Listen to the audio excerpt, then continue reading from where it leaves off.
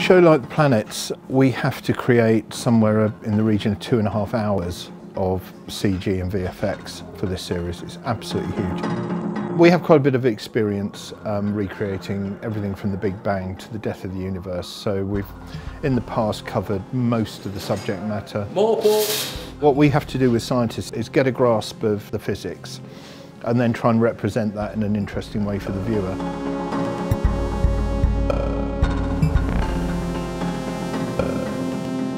When we take on a job like this, we, we tend to start from a storyboard, from a page and a, a, drawing or a piece of concept art, and just find some interesting aspect to the to the process that we can do something different with. We're trying to get away from this sci-fi, Star Trek, Star Wars kind of look that conveys this sort of big empty space out there. A lot of black, a lot of very, very slow camera moves.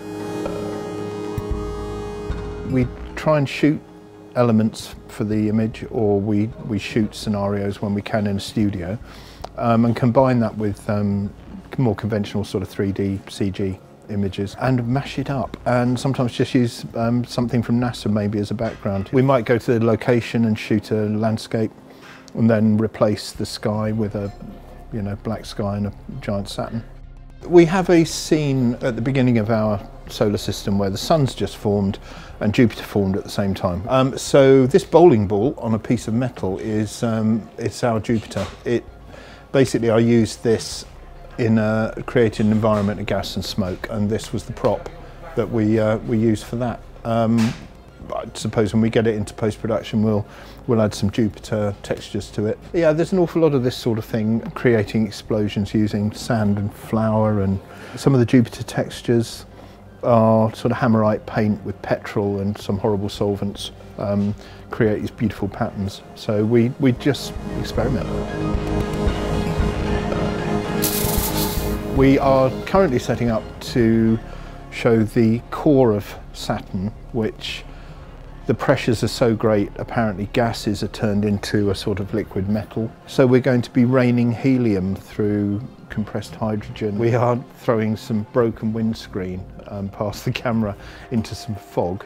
We try and find effects that um, aren't rooted to a phenomena on Earth.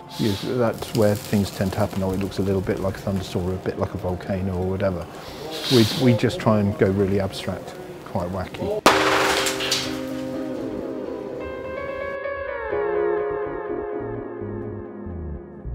When we're in the studio, we have um, a storyboard frame or a concept image. From that, we break down the elements we need to recreate that image. So in the case of early Jupiter, for instance, we knew that we had to have um, a, a, sphere um, that we had to then texture with gas and um, other material.